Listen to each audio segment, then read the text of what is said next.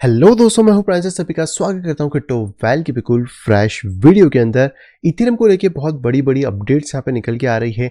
जिसमें से सबसे बड़ी अपडेट की बात करें तो वो निकल के आ रही है वितालिक की तरफ़ से, जहाँ पे कि वितालिक ने 400 इथेरियम्स जो कि सिक्स लैख डॉलर के बराबर है।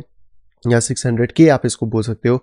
वो कॉइन बेस पे यहाँ पे भेजे हैं एंड बहुत ज़्यादा चांसेस हैं कि वितालिक इसको सेल यहाँ पे करने वाला है। क्योंकि इससे पहले भी कुछ ट्रांजेक्शन्स हुए हैं जिसके बारे में हम इस वीडियो में बात करते हैं और इसके अंदर भी इथेरियम यहाँ पे भेजे गए हैं वितालिक के द्वारा जिसमें से कुछ इथेरियम सेल भी करें और इसके इथेरियम को लेकर एक बहुत बड़ा हैक हुआ है। जिसके बारे में आज बात करेंगे हम इस वीडियो के अंदर। तो वीडियो को शुरू तक पूरा ज़रूर देखिएगा। फटाफट से वीडियो को लाइक कर दीजिए चैनल को सब्सक्राइब कर लीजिए। वीडियो को शेयर करना बिल्कुल भी ना भूलें। क्या आप एडवांस लेवल ऑफ़ ट्रेडिंग को आप सीखना चाहते हैं? इन टाइप डिटेल में सीखना चाहते हैं कि टेक्निकल एनालिसिस वर्क कैसे करता है? कैसे आप सभी फाइनेंशियल मार्केट चाहे वो क्रिप्टो हो कमोडिटी हो स्टॉक हो, इसके अंदर ट्रेडिंग को यहाँ पे कर सकते हैं। किस तरीके से इंस्टीट्यूशन है, वो अपने डिमांड और सप्लाई जोन यानी कि बायो सेल्स जोन को फाइंड करते हैं और इन्हीं जोन को फाइंड करके कैसे आप अपने ट्रेड को इनिशिएट कर सकते हैं, कैसे अपने लॉसेस को मिनिमाइज कर सकते हैं और कैसे अपने प्रॉफिट को यहाँ पे बढ़ा सकते हैं।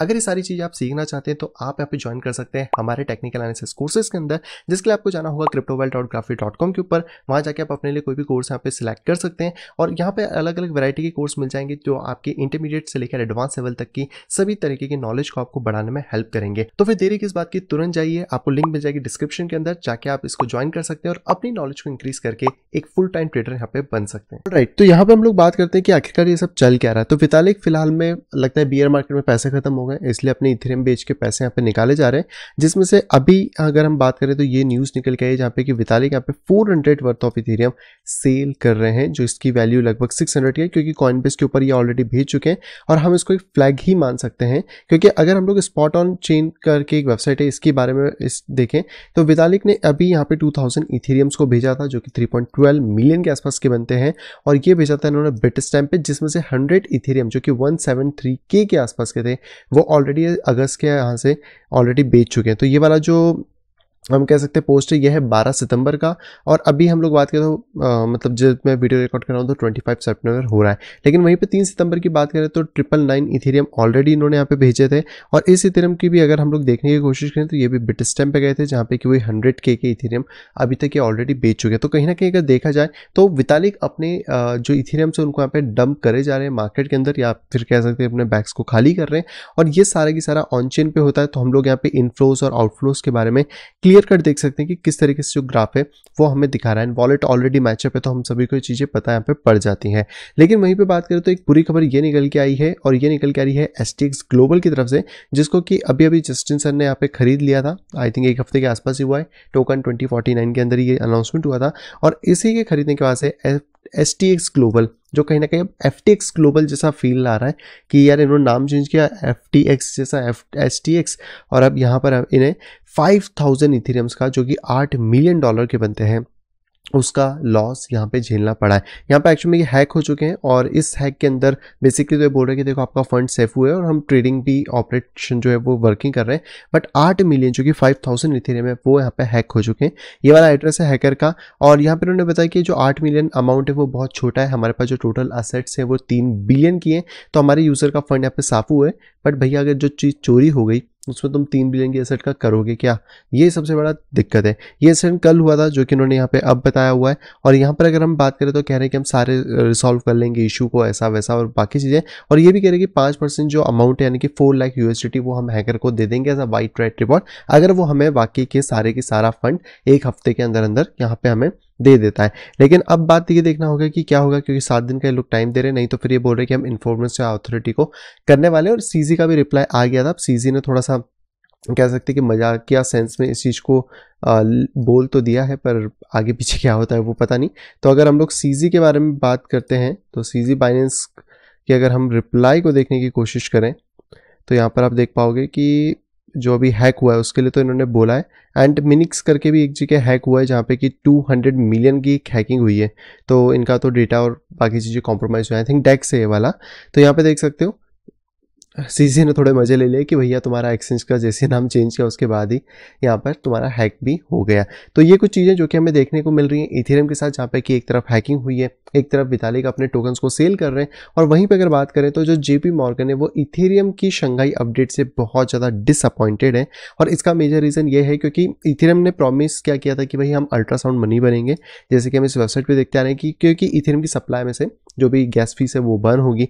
लेकिन कहीं ना कहीं बात करें तो यहाँ पर इथेरियम फेल होता हुआ दिख रहा है। इस चीज़ को लेकर अब इसके मल्टीपल फैक्टर्स हो सकते हैं। हालाँकि इनका कहना था कि जो ट्रांजेक्शन हो रहे थे वर्ल्ड के लार्जेस्ट स्मार्टफ़ोन वो कहीं ना कहीं डिक्लाइन हुए और अगर हम इनके चार्ट के अकॉर्डिंग देखें तो ईद का मार्केट कैप से लेकर ईद की daily transaction T V Ls इन सारी चीज़ों में हमें नेगेटिव रिटर्न्स देखने को मिले अब इसका एक मेजर रीज़न हो सकता है क्योंकि अभी बियर मार्केट है। दूसरा मेजर रीज़न हो सकता है क्योंकि बहुत सारी चीज़ें लेयर टू के ऊपर शिफ्ट हो गई हैं तो इथेरियम की यूटिलिटी इस टाइम पे कम यूज़ हो रही है। हालाँकि लेयर टू जब ऑप्टिमाइज अच्छे से होंगी या चीज़ें होंगी तो आना उनको इथेरियम के ऊपर ही है।